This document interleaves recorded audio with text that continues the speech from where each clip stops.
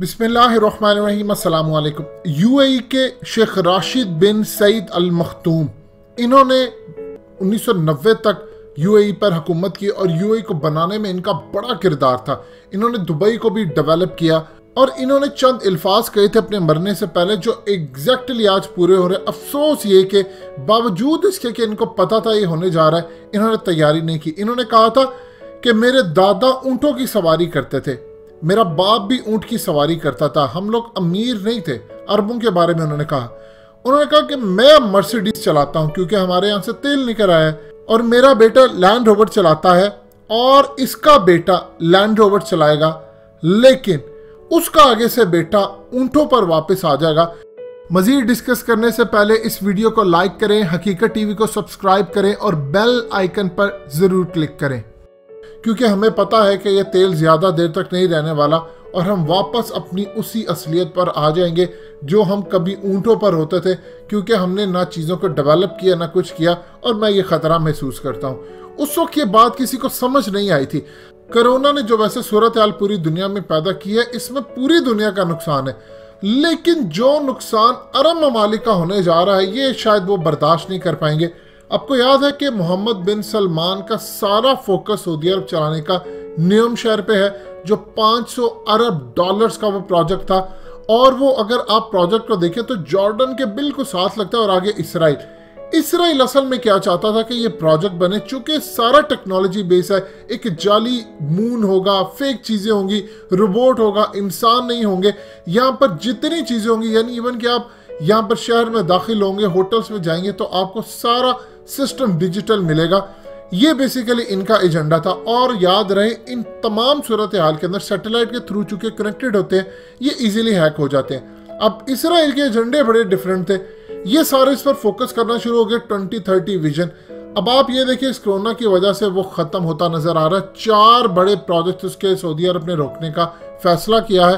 اور twenty thirty vision کا بہت سارا کام اب مکمل طور پر ختم ہونے جا رہا ہے یعنی آپ دوسرے لفظوں میں سمجھ لیں تو شاید یہ ویژن مستقبل کے اندر کبھی مکمل ہی نہیں ہو پائے گا۔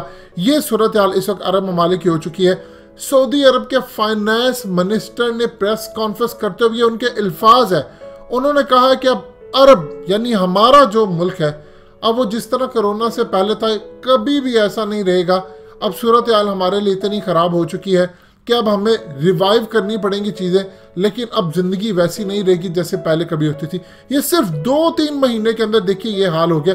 پہلی عرب ممالک کا کرائسس بڑا تیزی سے چل رہا تھا۔ اب آپ دیکھیں انہوں نے ویٹ کو ٹرپل کر دیا، پانچ سے پندرہ فیصد۔ یو اے کی صورتحال بھی یہ ہے کہ انہوں نے ٹوٹلی جتنی کنسٹرکشن تھی جو چل رہی تھی، وہ ساری روک دی ہیں۔ ان کے پاس اس وقت قریباً چالیس ہزار یونٹس یعنی فلیٹس اور یہ چیزیں جو کہ وہ انڈر کنسٹرکشن تھی، وہ روک دی۔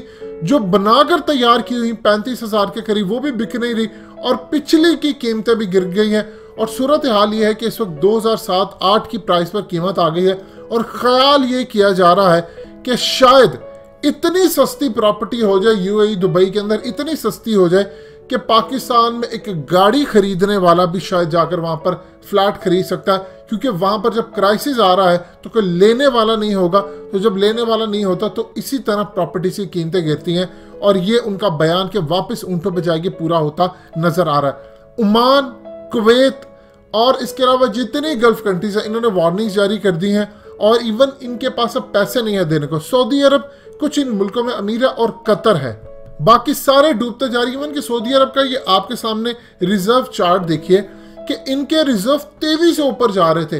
اور دو ہزار پندرہ کے بعد crisis to crisis to crisis اب ہوتے جا رہے ایون کی حالت یہ ہوئی کہ دو ہزار بیس کے اندر ریزرو بالکل فلیٹ ہو گئے تھے، ایک جگہ پر آ گئے تھے۔ آگے کرو جو ہے وہ نیچے نہیں، اوپر نہیں جا رہا تھا، اوپر نیچے اوپر نیچے ہو رہا تھا۔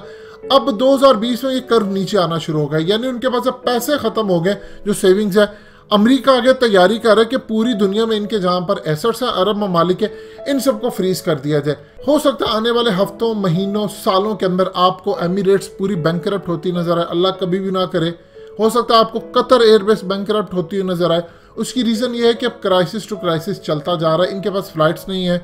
سب سے زیادہ کرونا کی وجہ سے کوئی انڈسٹری سب سے بری ہٹ ہوئی ہے تو وہ ٹوریزم کی۔ آپ دیکھیں کہ پاکستان کے اندر سب سے زیادہ جو ٹریول ایجنٹس کا کام تھا وہ کس مقصد کے لیے چلتا تھا؟ وہ چلتا تھا تقریباً اسی سے نوے فیصد لوگ صرف اس لیے کماتے تھے کیونکہ لوگ حج عمرہ کرنے جاتے تھے، زیادہ تر۔ اور پاکستان سے گلف کنٹریز کے اندر جو ورکرز کام کرنے کے لیے جاتے، اب آپ دیکھیں یو اے میں کوئی انڈسٹری تو نہیں، وہاں پہ صرف کنسٹرکشن تھی۔ جب کنسٹرکشن ہی رک گئی یا کوئی لینے والے نہیں ہیں، تو ورکرز تو پاکستان سے دنیا بھر میں واپس جائیں گے۔ یہ خطرناک چیز ہو رہی ہے اور آج ان کے الفاظ سچ ثابت ہونے والے ہیں کہ ہم واپس اونٹوں پہ جائیں گے۔ لیکن ذہن میں رکھیے گا، جب آپ واپس اونٹوں پہ جائیں گے تو پھر وہ ملک بھی آپ کے نہیں رہیں گے۔ دوستو، حقیقت ٹی وی کو سبسکرائب کرنا مت بھولیے، ویڈیو کو لائک کریں، شیئر کریں اور کمنٹ سیکشن میں اپنی رائے کا اظہار ضرور کریں۔